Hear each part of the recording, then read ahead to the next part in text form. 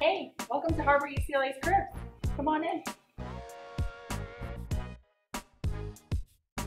I get to our level 3 NICU around 7 a.m. Our interns get here a little earlier to collect some numbers. Oh, hey, Jeff. Next, we round.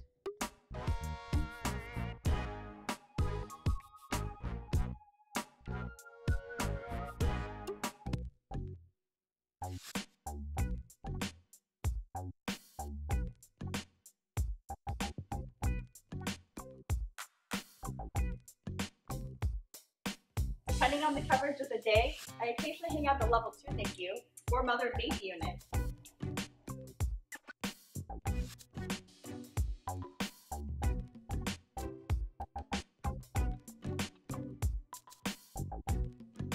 And for a little more excitement, I attend all the high-risk deliveries to lead the resuscitation. Pizza, pizza's here! And that's pretty much my day.